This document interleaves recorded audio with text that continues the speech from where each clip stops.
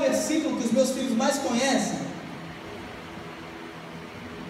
É esse. Filho, deixa eu te dizer uma coisa assim com todo carinho. Sabe qual é o teu lugar? Você é filho. Obedece, fica quietinho. Sabe qual é o teu papel, filho, na sua casa? Calado! Obedeça em tudo. Ah, mas pastor, significa que eu não tenho voz, que eu não posso falar, porque adolescente jovem tem aquele stick, né? E mexe o ombrinho e. Calado! Obedecer em tudo. Mas, pastor, isso é orientação. Não for melhor dos meus pais, calado, obedece. É teu pai e é tua mãe a autoridade sobre a sua vida. Calado. Ah, mas cala a boca. Assustar você, não. É porque algumas pessoas estão vendo que está dando a pescada. Sabe? É. Às vezes é a nossa escapatória para o pessoal. A mensagem está tão ruim, tão ruim, o pessoal. Então, filho, obedeça. O teu lugar, meu filho, é obedecer. A tua parte em casa é só essa, mais nada. Se o teu pai e a tua mãe pedir a tua opinião, é outra coisa. Enquanto não, fica quietinho. Obedece tudo, né, filho? Amém? Oh, glória. Obedece em tudo, por quê? É o primeiro mandamento com promessa. Sabe por que muitos jovens estão morrendo cedo? Está aqui, ó. Ó, não tem mistério, não precisa o IBGE fazer censo, não precisa fazer nada. É só ler esse texto. Jovem está morrendo cedo porque não obedece os pais. Simples. Estou falando alguma mentira aqui, igreja? É porque às vezes a gente não se lembra desse tipo de texto. A Bíblia mente? Então, se ela está falando que se você obedecer você vai viver muito, o contrário também é verdade. Se desobedecer, vai morrer cedo, jovem. Vai morrer. Não é o que estou falando, é a Bíblia. Amém? Qual é o papel do filho então? Só obedece, cala a boquinha, fica no teu lugar quietinho. Enquanto tu estiver debaixo do teto do papai e da mamãe, comendo arrozinho da, da mamãe, feijão do papai, você pode ter 30 anos, cala a boca Acabou para você. Escuta aí, meu Júnior.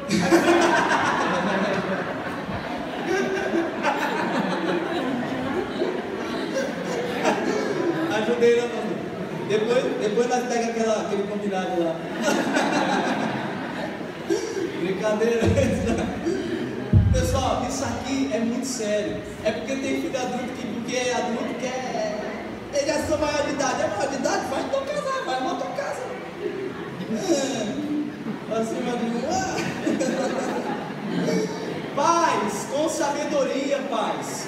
Com sabedoria. Olha o que, que diz o versículo 4 de Efésios 6. E vós, pais, não provoqueis a ira dos vossos filhos, mas educai-os de acordo com a disciplina do Senhor. Sabe qual é o nosso papel, pais? Quantos aqui são pais? A gente precisa de sabedoria para educar os nossos filhos. O que a Bíblia está nos ensinando.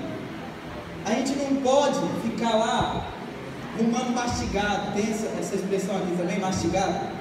Mastigado com filho. Birrento, sabe? Cara, isso aqui é para mim. Eu preciso tomar cuidado demais. Que eu sou às vezes assim. A gente não pode provocar isso dos nossos filhos. A gente sempre quer ficar, sabe, cutucando o filho. É, mas isso isso. O filho fez uma coisa boa, elogia o filho.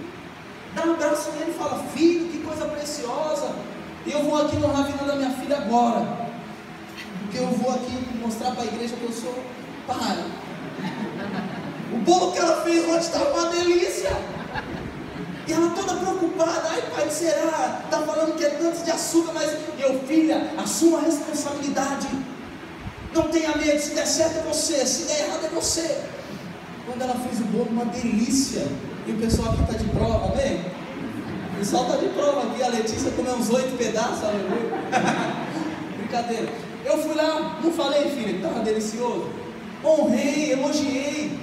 Quando for preciso chamar a atenção, vai com força também. Ei, aí não. mas tem um equilíbrio na criação dos filhos.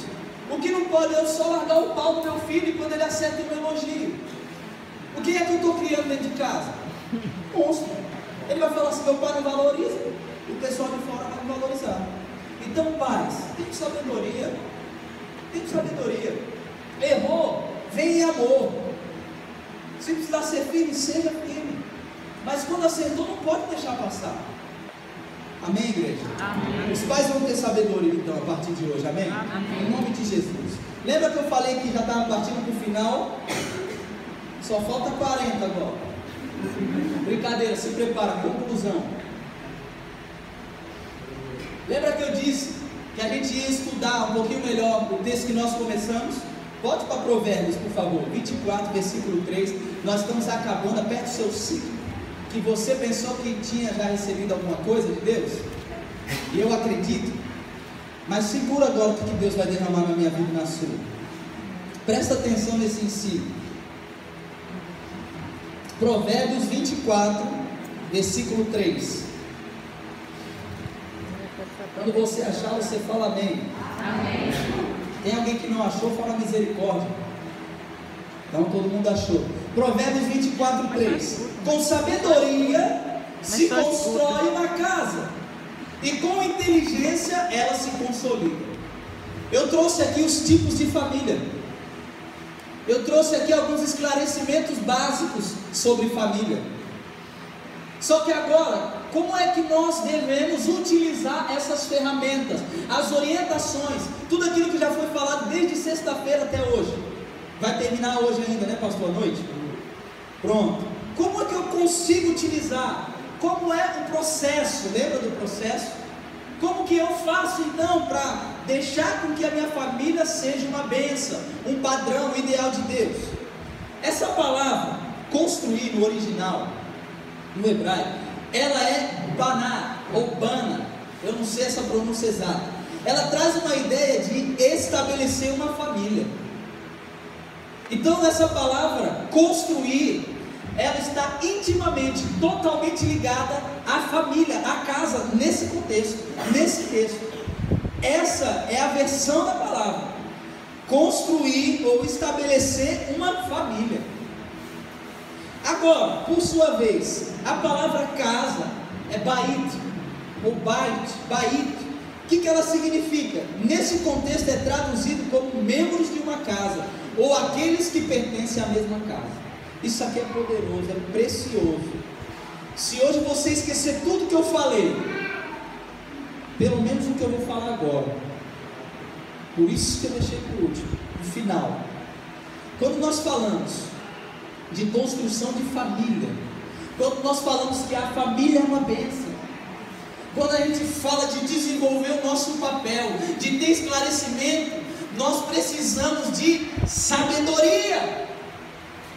Sabedoria para que a gente possa construir a nossa família e inteligência para manter, para estabelecer, para consolidar.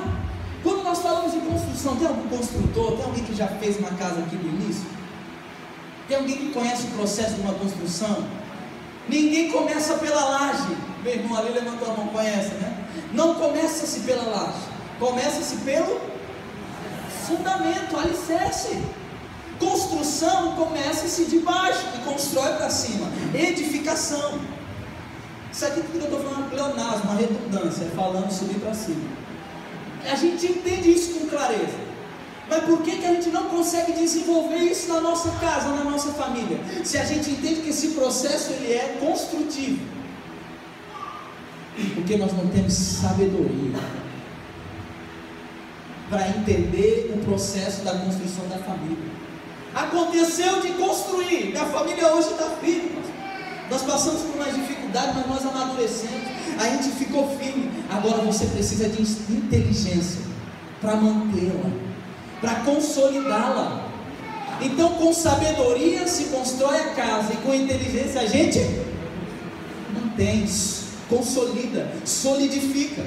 Se você nessa manhã conseguir perceber os ensinos que você tem recebido da sexta até hoje à noite, e na segunda-feira você tomar as decisões com sabedoria para que esse processo continue, a sua família vai ser uma bênção, a sua casa vai ser uma bênção, você nunca mais sofre com dificuldades familiares.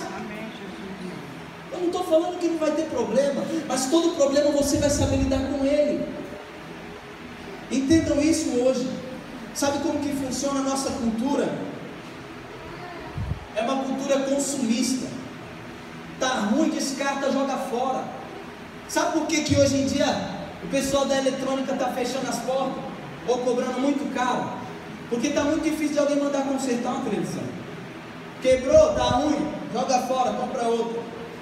As indústrias fazem, produzem um equipamento com uma peça que tem o tempo para funcionar. Ou você não pegou isso ainda? Por que, que a televisão dura um ano e meio, dois anos? Ei, igreja brasileira! Por que é que o micro-ondas dura três anos, quatro anos? Cultura consumista. Tá ruim, tá estragado, não tem mais conserto não, joga fora e compra outro. Eu quero novo. Sabe o que está acontecendo com as famílias? Infelizmente, tá ruim. Vou pegar novinha.